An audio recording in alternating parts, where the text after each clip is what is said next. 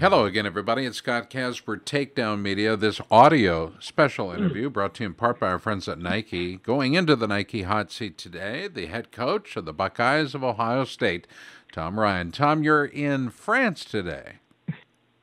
Yes, I am. Just got here to support uh, Coach up Kollin Moore uh, at the Junior World Championships. I'm looking forward to it. You know, we talked with Brandon Slay yesterday, uh, in just a kind of a review of, or preview, I should say, of the freestyle team USA and and uh, the opportunities to to do well over there. And and uh, Kollin was kind of a nice surprise. Uh, and, and an unexpected, perhaps for some, surprise for uh, Team USA in the lineup. What are your thoughts on this young man? Well, we knew when we recruited him he was going to be special.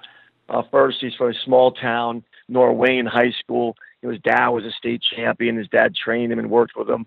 It was kind of his main training partner. Um, you know, really good athlete, great soccer player. You know, all the kids in the family are very athletic, and he just has a hunger to be great. And he was, you know, he's a 160 pounder his junior year. His senior year, he was a, you know, a kind of a small 82 pounder. But uh, you know, at Ohio State, he just keeps getting bigger and stronger. And when you've got Myles Martin on one side of you and and uh, Bo Jordan and and uh, you know Kyle Snyder around, you get better fast. So he's doing a really nice job, and you know we really expected this. Initially, when he came to Ohio State, he wasn't progressing as quickly as we had thought, but uh, this past summer was a great summer for him, and he's on the Junior World Team, and we're not surprised. That's uh, that's outstanding. So you're in uh, Macon, France to to uh, help coach up and also to support not just this young man but also Team USA. And uh, it's often been said that environment is critical. You've provided a positive environment at Ohio State. Uh, we've talked about this on many occasions. Uh, opportunities for young men to get better at their craft. One of them Tervel Dlagnev. You've recently elevated Tervel to a coaching position at Ohio State. Uh, what propelled you to do this, and, and what are your expectations of Tervel? Well, you know, obviously I know Tervel really well. He's been in our training center uh, for nearly seven years now. Um, obviously, a two-time Olympian, multiple world medalist. But the thing that you know, I you see those things on the on the on the outside, and you think, wow, this guy is is uh, has had some an incredible career. But when you walk alongside him and you you talk to him and you listen to what he thinks and and uh, you watch him you watch him teach, you know I had firsthand uh, firsthand view you know of of how good of a coach and teacher he is. So you know we're really excited that he's going to be taking over you know the RTC and of course Coach Jaggers has been alongside Lou and me the entire way. I mean, he's a great coach. He's he's had a huge impact in this program, so he his position gets elevated as well. And we'll probably have a co probably have a co head coach of the RTC um, you know, going forward. Let's talk a bit about you mentioned Coach Rosselli. Uh, Lou's been on on everybody's short list uh, for head coaching positions for the last six, seven years, even even longer for some.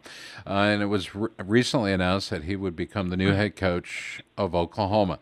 Um, obviously, he's been a friend of yours, a confidant, etc. How involved were you in the decision uh, for him to not only interview for the job but to take the job? Well, I mean, you know, the first thing I say that comes to mind when I think of Coach Rosselli and the fact that he's committed, Lou's committed to go to Oklahoma was just pure joy. You know, I was just so happy for a guy that's given so much to so many people. And Oklahoma is a great job. Uh, so, you know, joy was the first thing. And then just a lot of reflection. You know, Lou and I came to Ohio State the same year, same time.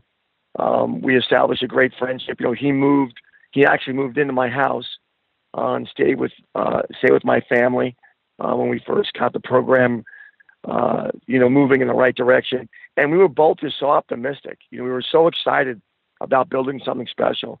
So there was a lot of reflection, you know, a lot of looking back and and um, you know just the time we spent together. So uh, he's ready to he's ready to be the king of Oklahoma and run that program and we're looking forward to it. You know, I'm so happy for him and his family. You know, and I'll, I'll ask you to comment if you're comfortable on Mark Cody and his departure. Were you surprised at, at a five-year tenure for Cody at, at Oklahoma? I was, uh, of course, I was. Yeah, I was surprised for sure. I mean, Mark did a great job at American, and um, you know, I think he. I don't know. You know, there's a couple of tough seasons. I, I don't know. I mean, they've had they've had a couple of national champions. They've had All Americans, but you know, uh, there's so much going on within the Ohio State program that I just focus in on. Sure. And um, but it was a surprise. We had uh, Kyle Snyder and Helen Maroulis both on uh, Takedown Radio this last weekend, and if mm-hmm. there if there's an example, Tom, if there's an example of of uh, what wrestling can do or what part wrestling can play in the life of, of young people, I think they both Helen and and uh, Kyle uh, are highly representative of that. But it takes good coaching, good mentorship, and it's something uh, I think I reflect on with Coach Rosselli and you and on being positive role models, positive mentors, surrounding yourself with positivity. And they've done that. You guys did a wonderful job and are doing a wonderful job with Kyle. Can you talk about Lou Rosselli as a mentor to, to young people? Yeah, I mean, Lou is just, he's just really simple. There's a few, I mean, he does a great job at, uh, at avoiding the distractions that, you know, just because you're 45, 46 doesn't mean that you can't be distracted by the world. And he just pours himself into people. You know, he'll he'll be in, he'll be there with the student athletes twice a day, whenever they want. He's obviously got great knowledge. He just loves the sport and he loves to help people. And um, he's one of the best at it. You know, the other day we were just going over the accomplishments of Kyle Snyder and what he was able to accomplish over the last 365 days. And we forgot to add in Big Ten champ, and it was. Right. it was. how, how, does that become, you know, not on the list when you look at NCAA right, right. champ? He's got a high standard, right? Scott? Yeah. it was for me just. Well, it was a great. You know, we, he, he, when they were interviewing him, uh, uh, Kyle back at, on campus, they were, you know, they were. He, he made a point to say that, despite the fact that I've got a, a world championship and Olympic gold medal. The Big Tens and NCAA's are important competitions for me. I'm excited for those. And that's just such a unique way of thinking, right?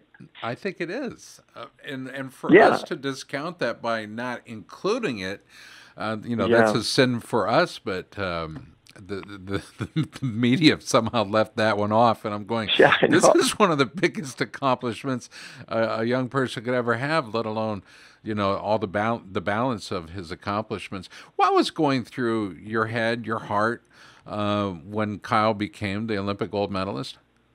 Well, I was squeezing his mom around her neck, and I was squeezing Kevin. I was wedged in between the two of them with like ten seconds to go, and um, uh, you know, the Russian was coming after him pretty hard uh, late in the match, and we would just let that clock run down. You know, uh, his his uh, his prediction, his premonition was going to come true. It only took him 15 years to uh, to fulfill what he said he was going to do. As a five-year-old, he said he was going to win Olympic gold. By 20, he's got it. So I believe him when he says something. You you were reining him managing him. I shouldn't say reigning. I think that's a poor choice of words. You were managing him through uh, the Big Ten season, through the NCAA uh, season, and then he had an opportunity to face one of the great big men of uh, of modern modern years in Nick Gwiazdowski. Um, was there ever any question in in your mind that he could beat Nick, and and if if so, uh, what was that question? Well, there was never any question that he could beat him. You know, we watched them train together. You know, we knew they trained together, but but there was certainly not. There was no like this is this is a slam dunk. You know, it was. You know, it was. We had enough information that this is going to be a great match, and slight advantage Snyder.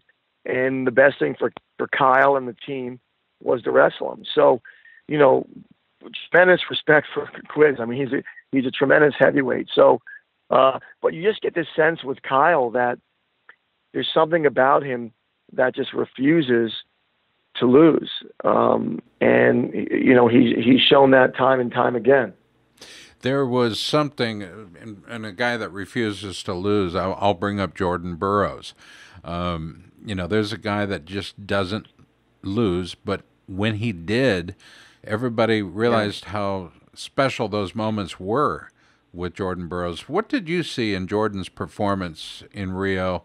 Uh, and and I, I, I, surely don't think we've seen the last of Jordan Burroughs, but it didn't look like Jordan was the normal competitive Jordan Burroughs that we're used to seeing. What did you see? Well, you know, you don't know what's you know you don't know how much stress there was, how his weight cut was, you know, the emotional side of it. Uh, you know, the Russian is really good too. I mean, they've wrestled before, and they're and they're very close matches. So it wasn't like, oh my gosh, you know. But in in, in one breath, it's it's it's you don't oh my gosh, and in the other breath you do because he's just been so consistent. He's been so good for so long in these big uh you know these big time matches that you you come to expect these guys to do it, and you can lose track easily of how good these people are, how hard it is by taking it for granted that well it's just Burroughs he's gonna he's gonna do it again.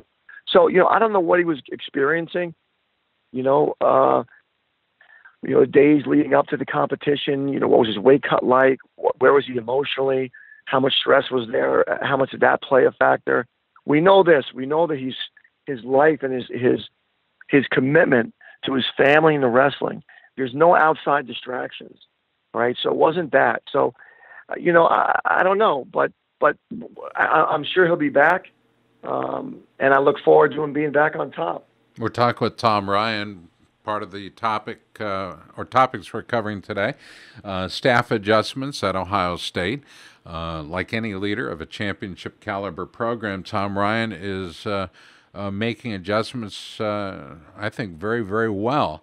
Uh, one of them, of course, Tervel Dlagnev being uh, um, added to the coaching staff and, and uh, Jay Jaggers being elevated. There's a fine young man in Jay Jaggers, uh, perhaps able to embrace the European style of dress more than any other coach in the United States. he, he is a model, model good looks. He's amazing, amazing.